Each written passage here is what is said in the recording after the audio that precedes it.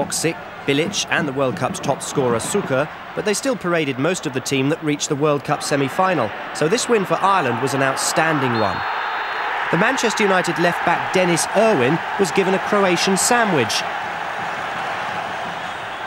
Irwin picked himself up, dusted himself down and made it 1-0. In 30 years I've never seen a crowd like it, said the Croatian manager afterwards. Better was to follow for the Republic after just 16 minutes. Steve Staunton took the corner and eventually it fell to Roy Keane, the second Manchester United scorer of the afternoon.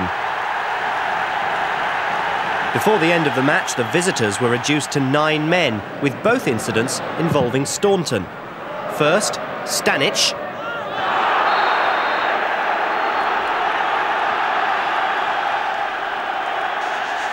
And just a minute later, Jurcic for this wince-inducer. Next up for Ireland, Yugoslavia and then Malta